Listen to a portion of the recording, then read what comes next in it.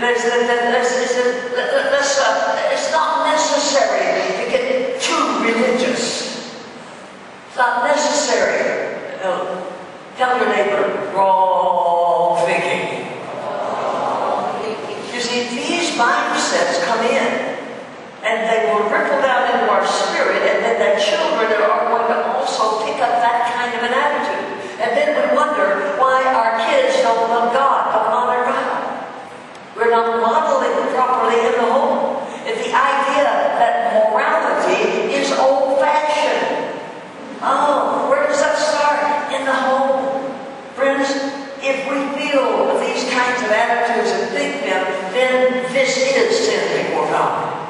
Because we are modeling the wrong attitude toward God, toward His house, toward people in the kingdom. Hello. Tell your neighbor, you can change. Maybe we should, maybe those of you that have been out in camp, we know that. Uh, listen, so help me, come on. Those of you that can. I can change. I must change. And I will change. Amen. You see, there, there is, because God has got to change us from our mindset into His mindset. He's got to change our will to be in submission to His will. He's got to change our attitude to be changed to have the very mind of Christ, the attitude of the kingdom in every sphere of life. But it is possible to have a successful family. And everybody, somebody shout amen. It is possible to have successful families. However, there is no magic formula. No magic formula. There's no magic formula you can follow. But yet God's Word is perfectly clear in its instructions. His instructions is this. Bring up your children. Nurture and in the nurture and admonition of the Lord. Ephesians chapter 6 and verse 4. Yeah, Ephesians 6 4. Bring up your children and nurture in the admonition of the Lord. You see, we build that foundation where? In the home. You bring up your children that way. This is a, a command for every parent. The Bible says in Proverbs chapter 22 and verse 6, train up a child in the way that they should go. And when he is old, he will not depart from it. You say, but my children are drifting away from God. You see, if we instill the Word of God and the love for God, respect for parents in our children, they may go away from God, but they're going to remember the prayers of mom and dad.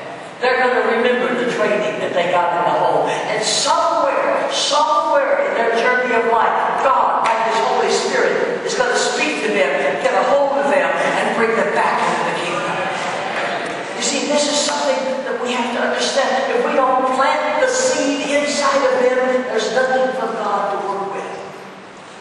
Tell your neighbor, you have an awesome responsibility.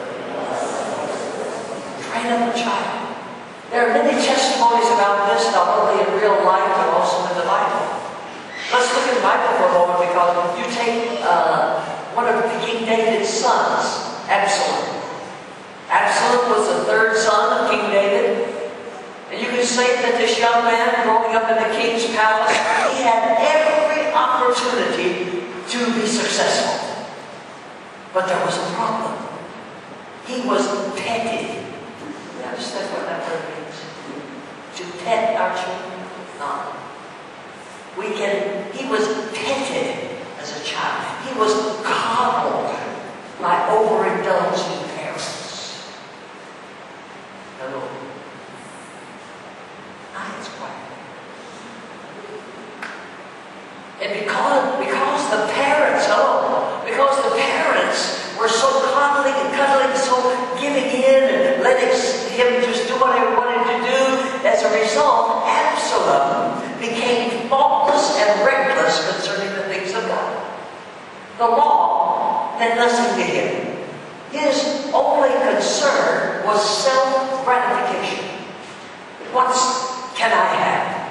What can I get for me? Tell your neighbor, wrong attitude.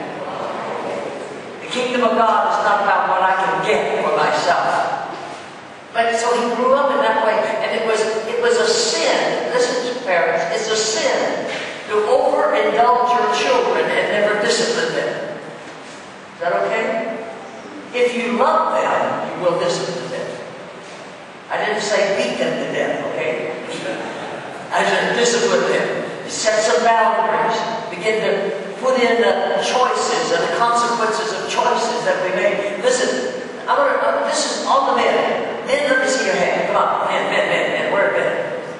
Some here, somebody, some back there. You don't know if you're a man or a woman. Hand. All the men, raise your hand. Come on, one more time. All Okay, all that, good. Now, this is for men.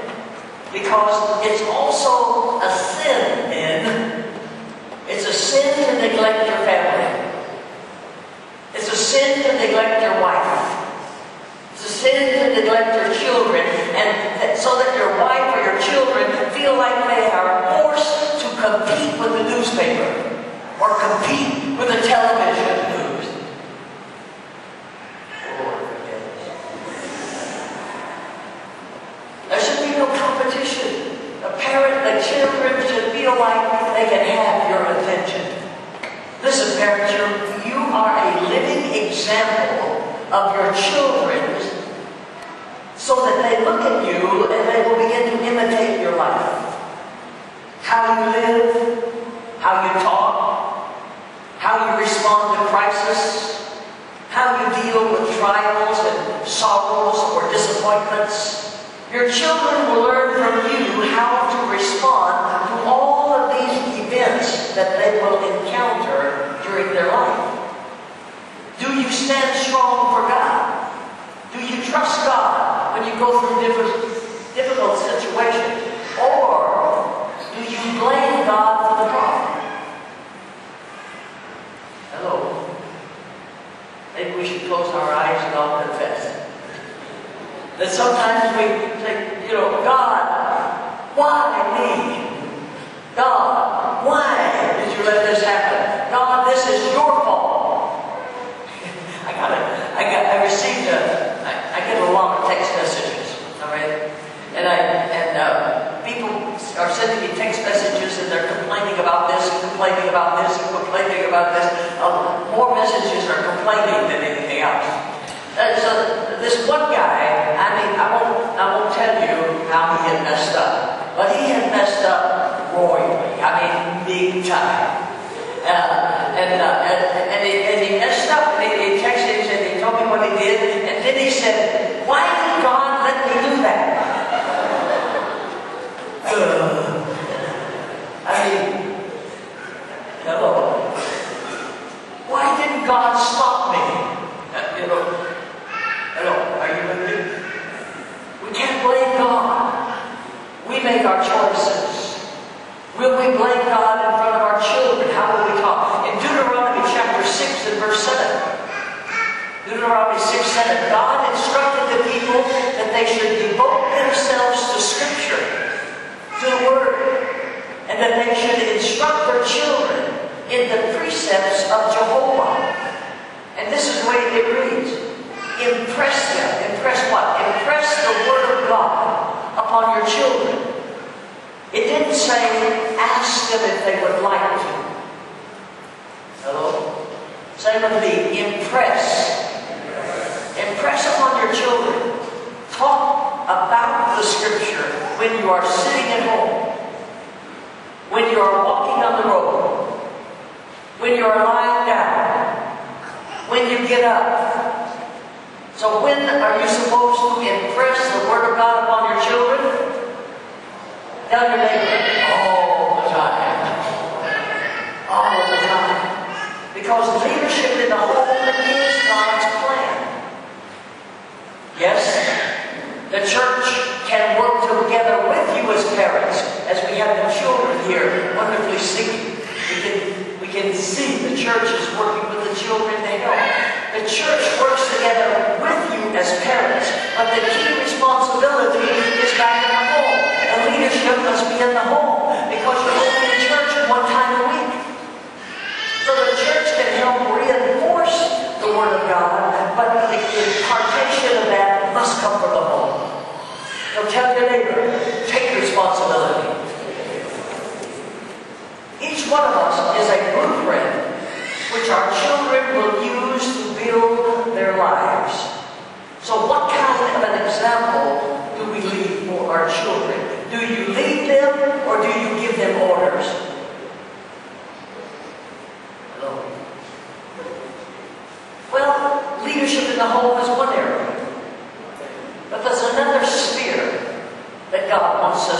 involved in leadership, and that's leadership in the marketplace. Matthew chapter, excuse me, Mark chapter 7, verse 5 through 9. I'm reading from the NIV translation.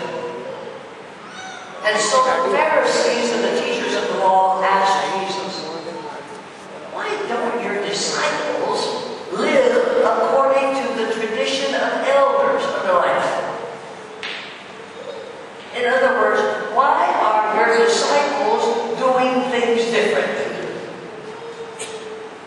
They're not living according to the tradition of the elders. Instead, they are eating their food with unclean hands. That was ceremonially unclean. Verse 6. He replied, Israel was right. Excuse me, Isaiah was right when he prophesied about you hypocrites and it's These people honor me with their lips, but their hearts are far from me. They worship me in vain. Their teachings are but rules taught by man. Look at that. Verse 8. You have let go of the commandments of God and are holding on to the traditions of men. And then he said to them, You have a fine way of setting aside the commandments of God at your convenience in order to observe your own tradition. Many times, my friend, our greatest battle is with our man-made traditions. They become obstacles for us. Tradition is defined this way. Write down the definition. Next slide. Tradition is defined as a handing down of information, of beliefs, and customs. And those are handed down by word of mouth or by example from one generation to another generation. Jesus valued tradition. However, he was not limited by tradition.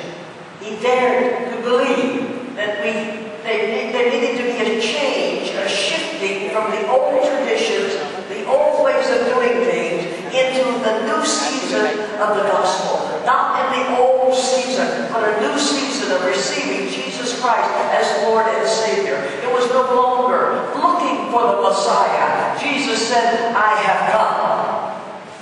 I am among you. Now, that was a time of shifting for the church. A shift from the old traditions into a new way of doing things.